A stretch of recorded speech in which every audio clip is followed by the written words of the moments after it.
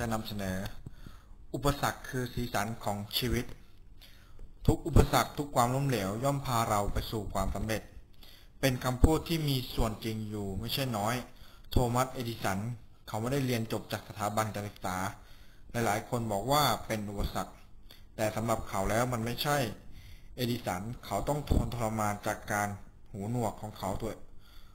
ของตัวเอง หลายๆ คนคิดว่ามันคืออุปสรรค แต่สำหรับเขาแล้วมันไม่ใช่ มีวันหนึ่ง มีนักข่าวคนหนึ่งไปถามเขาว่า การที่เขาหูหนวกมันเป็นอุปสรรคต่อการทำงานไหม เขากลับตอบกลับจนนักข่าวต้องตะลึงว่า การที่หูหนวกเป็นสิ่งที่ดีต่อการทำงานของเขา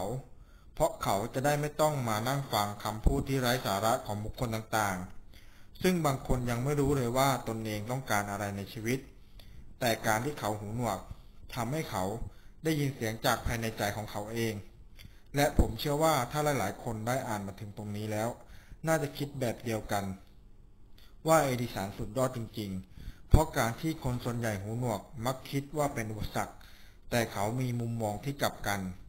เอดิสันจึงเป็นบุคคลหนึ่งที่มีความสำคัญของโลก และเป็นบุคคลที่คนทั่วโลกยกย่อง เขาประสบความสำเร็จยิ่งใหญ่ในเรื่อง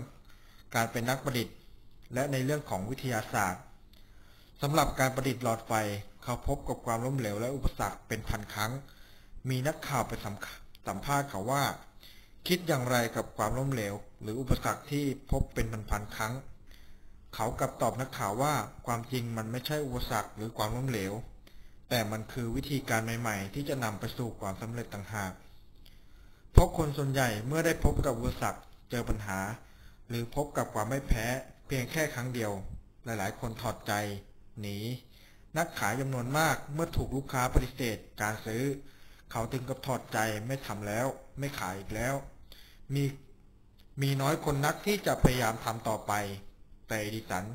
เขาพบกับความล้มเหลว อุปสรรคถึงพันครั้ง แต่เขาสู้ต่อไปจนประดิษฐ์หลอดไฟได้ในที่สุด หากว่าเรานำเรื่องของเอดิสันมาคิดเราจะเห็นว่าหลาย ๆ ครั้งที่เรามักจะฟังคนอื่นมากกว่าฟังตัวเอง แต่สำหรับเอดิสันแล้ว การที่เขาหูหนวกนั้นเป็นข้อดี เขาจึงสามารถฟังเสียงของตนเองได้ชัดเจนขึ้น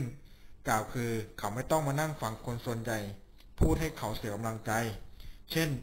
คุณทำหลอดไฟไม่ได้หรอก เพราะยังไงไม่มีใครเคยทำคุณเลิกได้แล้วทำมาเป็นมันๆครั้งยังทำไม่ได้อีก เคยมีนิทานเรื่องหนึ่งเล่าว่ามีการแข่งขันปีนต้นไม้กัน หลายคนกำลังปีนแข่งกัน แต่ต้นไม้ แต่ต้นไม้สูงมากทำให้คนดูเชื่อว่าไม่สามารถปีนขึ้นไปได้ คนดูหลายๆ คนจึงร้องบอกคนปีนว่าลงมาเถอะไม่ไหวหรอก ด้วยความเป็นห่วงเป็นใยคนปีน จึงทำให้คนที่เข้าแข่งขันหลายๆ คนทยอยปีนลงจากต้นไม้สูง แต่มีนักปีนคนหนึ่ง ปีนได้ดีมากปีนสูงขึ้น ปีนสูงขึ้นจน สามารถปีนไปสู่จุดที่สูงสุดได้ ปรากฏว่าทุกคนต่างก็ชื่นชมนักปีนต้นไม้ผู้นี้ หลังจากนั้นจึงมีการให้สัมภาษณ์โดยนักข่าวถามว่าทำไมคุณถึงปีนได้โดยไม่พักเลย นักปีนที่ได้รับชัยชนะกลับตอบว่า ก็ผมได้กำลังใจจากผู้ชมที่อยู่ด้านล่างสิ ที่ช่วยกันเชียร์ซึ่งเป็นความเข้าใจที่ผิด เพราะคนที่ได้รับชัยชนะ คนดังกล่าวเขาเป็นคนหูหนวก เลยนึกว่าคนข้างล่างเชียร์แต่ที่ไหนได้ คนชมด้านล่างกลับร้องตะโกนให้ลงจากต้นไม้ ฉะนั้นมนุษย์ เป็นจำนวนมากมักเป็นเช่นนี้ กล่าวคือมักเอาความคิดเห็นของคนทั่วไปมาสร้างปัญหาให้กับตนเอง จนทำให้ตนเองแทนที่จะประสบความสำเร็จกลับกลายเป็นว่าตนเองพบกับอุปสรรค พบกับปัญหา ฉะนั้นหากว่าท่านต้องประสบความสำเร็จดังเช่นโทมัสเอสัน ท่านจงฟังเสียงของตนเองมากกว่าฟังเสียงของผู้อื่น เพราะสิ่งนั้นจะเป็นตัวกำหนดโชคชะตาให้ตัวของท่านเอง ขอบคุณครับ สวัสดีครับ